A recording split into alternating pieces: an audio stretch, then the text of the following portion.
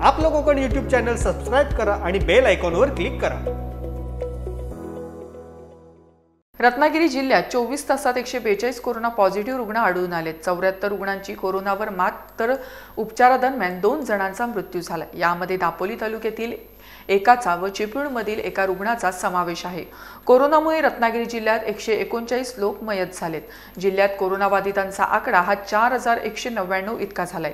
रत्नागिरी जिल्ह्यात आजही कोरोनाचे मोठ्या प्रमाणात रुग्ण सापडलेत. गेल्या चोवीस तासात रत्नागिरी चिपळूण लांजा येथे अधिक रुग्ण सापडलेत. तर जिल्ह्यात एकशे बेचाळीस नवे रुग्ण पॉझिटिव्ह आलेत. जिल्ह्यातील एकूण कोरोना पॉझिटिव्ह रुग्णांची संख्या चार हजार एकशे नव्याण्णववर पोचले आहेत.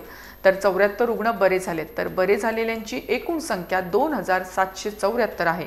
आज दोन कोरोनाबाधित रुग्णांचा मृत्यू झाला. यामुळे जिल्ह्यातील एकूण कोरोनाबाधित मृतांची संख्या आता एकशे एकोणचाळीस इतकी झाली आहे.